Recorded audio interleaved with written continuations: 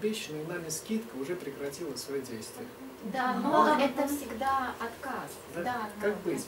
Если вот вы столкнулись с этой ситуацией, вот пример, который приводит Харви Маккей, это миллионер Соединенных Штатов Америки, он работает, кстати, в сфере почтовой связи, у него собственная компания по производству конвертов, и он захватил 10% федерального рынка Соединенных Штатов своей продукции. Охватил. Он рассказывает о таком примере, когда в автосалон приходит глава семейства, именно потому, что в этом автосалоне объявлена скидка на автомобили класса люкс. Он долго приценивался, наконец наступило воскресенье, день покупки, когда он смог с женой, с двумя ребятишками прийти в этот салон. Папа показывает на будущую машину, дети уже забрались, стали прыгать на заднем сиденье от радости. В этот момент дилер говорит, извините, пожалуйста, мне надо посоветоваться, тогда еще не было мобильных телефонов. Выходит к руководству, говорит, вы знаете, возвращается, вынужден вас огорчить. К сожалению, скидка отменена. Начиная со вчерашнего дня, она уже больше не действует. Извините, что так поздно вас проинформировал. Цена, как и везде. Как быть? Как вы думаете, этот покупатель заключит договор, купит машину или откажется?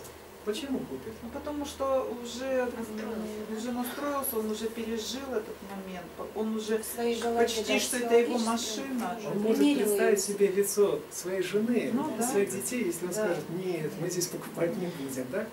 Да какой там, могут даже с наценкой продать автомобиль, если особенно жесткий подход Мгм. у дилера. Вот это очень опасная ситуация. Это вот тоже есть, да, но есть одна маленькая деталь. Чтобы не попасть в эту сложную ситуацию, необходимо предусмотреть ее.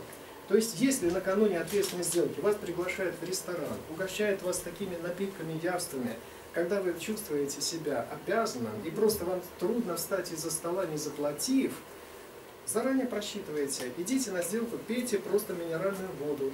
Понимаете, да? Тогда вы не будете чувствовать себя обязанным перед этим клиентом, который вас угощает. И так далее. Чтобы в любой момент встать и уйти. В коем случае нельзя застрять на пути к этой сделке. Можно дальше? Жесткий партнер.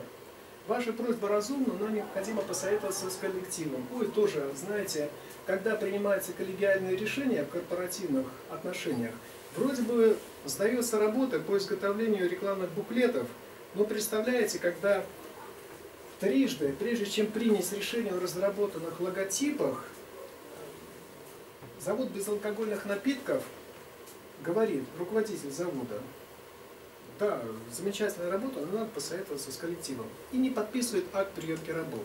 Проходит месяц, другой, потом этот руководитель меняет место работы, и после этого новый руководитель приходит и говорит, нам это все не нужно, взыскать назад задолженность. И взыскивает даже с процентами.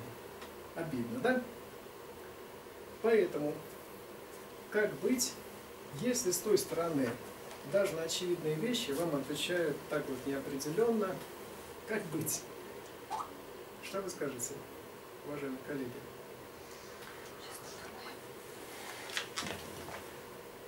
А почему бы не направить заказное письмо, чтобы зафиксировать выполненные работы, да?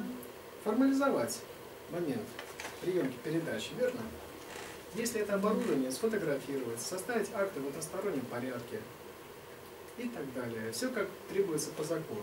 То есть как только мы вносим элементы вот этих э, отношений неформальных, мы один раз перешагнули предупредительную линию, заградительную, второй раз, понимаете, мы уже слишком сильно увлеклись в этом желании идти на уступки. И никто нас в этом не остановил. Значит, сильное упущение.